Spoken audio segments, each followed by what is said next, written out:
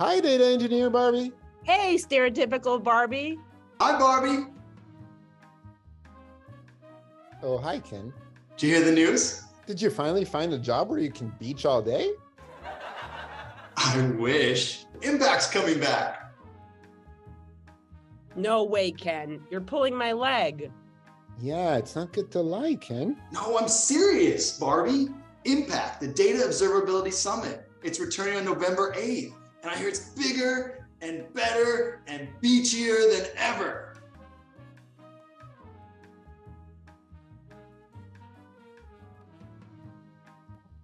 Hi, Barbie. Hi, Barbie. Hi, Barbie. Hi, Ken. Hi, Alan. Uh, what are we talking about?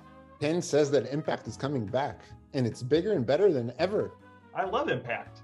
Nobel Prize winning economist Daniel Kahneman and 538's Nate Silver spoke at Impact last year. There's no way they can top that. It's almost as cool as going a whole weekend without a slack from your CEO about bad data.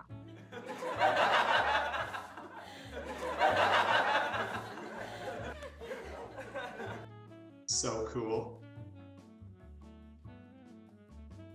This year, you can expect more talks, more panels, more entertainment, and the best, most ridiculous skits poking fun at the data space. You think they'll talk about generative AI? I love generative AI. Absolutely. What about building reliable data platforms or operationalizing data observability or data mesh? Ja! Okay, okay, okay. Impact is happening. How do we sign up? Say no more.